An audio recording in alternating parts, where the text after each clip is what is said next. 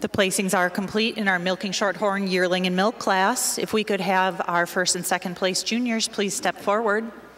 Our second place junior is entry number 1307, Pine Valley Lothario Latte, exhibited by Jessica James of Mineral Point, Wisconsin.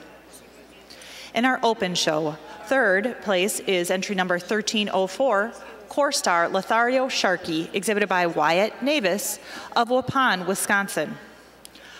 In second in our open show, as well as our first place juniors, entry number 1309, North Star Get Mega Jiggy, exhibited by Tucker Peterson of Mountain Grove, Missouri. Our winning entry, Best Bred and Owned and Best Udder, is entry number 1303, Hardcore Othello Margarita, exhibited by Hardcore Farm from New Enterprise, Pennsylvania. Judge Harbaugh for your reasons. Thank you, Laura.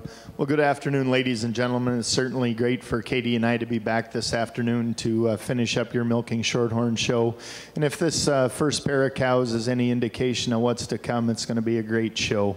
This first heifer just exudes style, balance, quality from end to end. A heifer that's the best uddered heifer in the class. She has that advantage of having more height, width, and bloom of udder today than our recently fresh heifer coming along here in second. Second heifer, you really admire her length of frame. She's got that beautiful feminine long head and neck. Just like to tuck her down in her tail setting a little bit. And for being two weeks fresh, just a beautiful uddered heifer. Needs a little time to get her rear rib and flank back, but she uses that advantage she has today in length of head and neck, angularity and clean cutness throughout. A heifer that just carries her udder a little higher above the hock today and is more correct in her teat size, shape, and placement than the big frame cow coming along in third. This third cow uses her length of barrel, her width through the floor of her chest, her openness throughout to place over the cow coming along here in fourth. Another cow in fourth, more recently fresh, a cow that has the advantage in overall width and height of rear udder today to place over the cow coming along fifth. And then fifth over sixth, the advantage she has today in teat placement and length of frame, and a cow that has just a little more style and hardness about her top today